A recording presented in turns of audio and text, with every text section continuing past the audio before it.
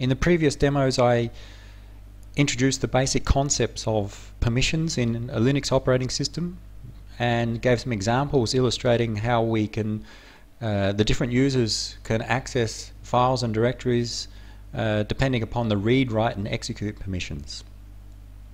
In this demo I want to show uh, the difference between the uh, different types of users. That is that they're considered normal users and users with uh, administrator privileges and the commands that we can use to switch between users and uh, elevate our privileges to the administrator user. Firstly, although we've seen it briefly, there's a command called su which allows us to switch users. I'm currently logged in as the user instructor. SU allows me to switch to another user. I know on this system there's a user called Smith, SU followed by the username, enter. Now it prompts me for the password of Mr. Smith. Now it turns out on this demo I know the password. I type it in and now I'm logged in as Mr. Smith. If I cd I'm currently in the home directory of Mr. Smith slash home slash Smith. So I'm logged in as this user now. So SU allows us to switch between users. If I want to revert back to the previous user, just exit and now I'm back to being logged in as the instructor user. Of course this is only useful if you know the password of a different user. In most multi-user operating systems you do not know another user's password. So how can we get privileges uh, above our normal user status? In many Unix systems, uh, Linux-based systems now, there's the concept of sudo, where it allows an administrator user to execute commands that a normal user cannot. For example, our current user cannot access the directory of Dr. Tanarak because the permissions on that directory if we try to ls slash home slash Tanarak it indicates permission denied. If we look more closely, we see for the directory Tanarak, the permissions for users other than Tanarak, they cannot read, write or execute. So users other than Tanarak cannot view the contents of that directory. Permission denied. Can someone access that directory other than Dr. Tanarak? Well, on a Unix-based system, there's what's called the root user, or the super user, or an administrator user. And this root user has permissions to do anything. They can view, uh, edit, and execute any files or directories on the file system. So what we'd like to do is to elevate our privileges, privileges for the current user, the instructor, to the root user or the super user. And the common way to do that is to, if you have permissions, use the command sudo super user do.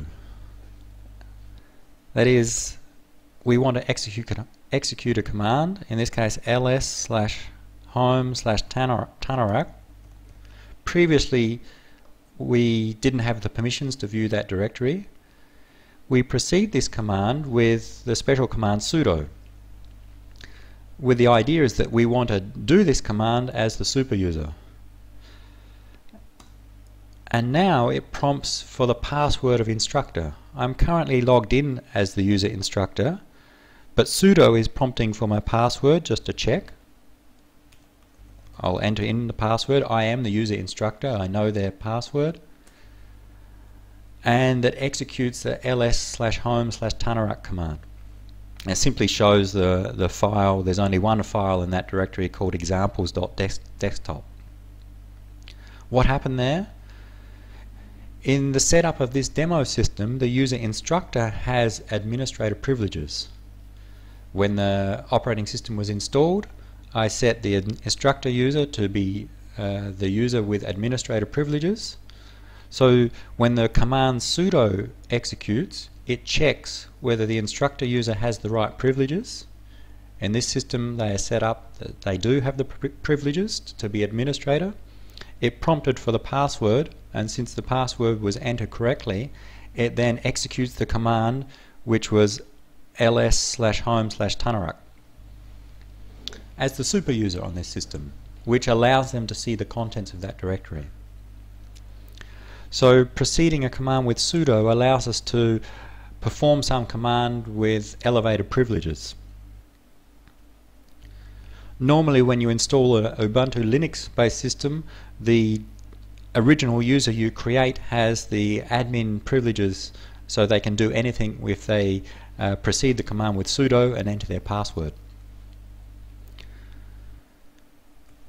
I can proceed any command with sudo. Let's look at another user's directory. There's nothing in that directory, not the best of examples, but note that it doesn't prompt for the password the second time. Since we entered it uh, not long ago, the operating system keeps track that, okay, we've entered that in the last few minutes, we don't have to prompt and enter the password a second time. If we log out and log in, we will be prompted again. So we can switch between users if we know that user's password using SU. We can execute any command and with any with all possible permissions by preceding that command with the special command sudo and that will work so long as the current user we're logged in as, for example instructor, has been configured to be an administrator user on the system. Uh, by default, the group to be in to have administrator access is the admin group. And the instructor user is part of the admin group. If now I want to switch to another user, what I can do is use sudo and su. sudo to execute as the administrator user, the command su, which is switch user, and followed by the username. I want to switch to user Smith. If I didn't have Mr. Smith's password, but I was an administrator user, like the instructor is, I'm not prompted for Smith's password. So I don't know, need to know his password because I have sudo privileges. I can immediately switch to the login of Mr. Smith. So an administrator user, also called a root user or a super user, can execute commands if they precede that command with sudo so long as that user has permissions. In this case, they're part of the admin group. We're logged in as Mr. Smith. Let's try and execute some command. ls, the directory of Dr. Tanarak.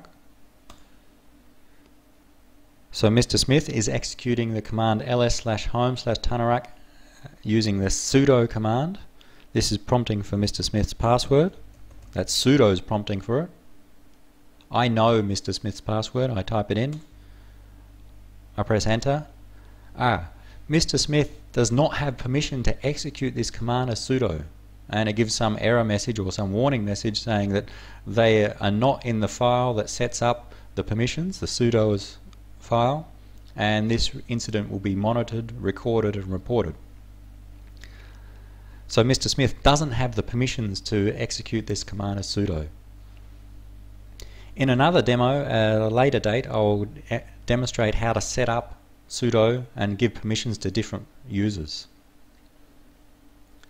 So in summary, SU to switch between users if we know the user's password. If we're an administrator user, then we can precede a command with sudo and that allows us to do anything uh, irrespective of the permissions on that file or directory.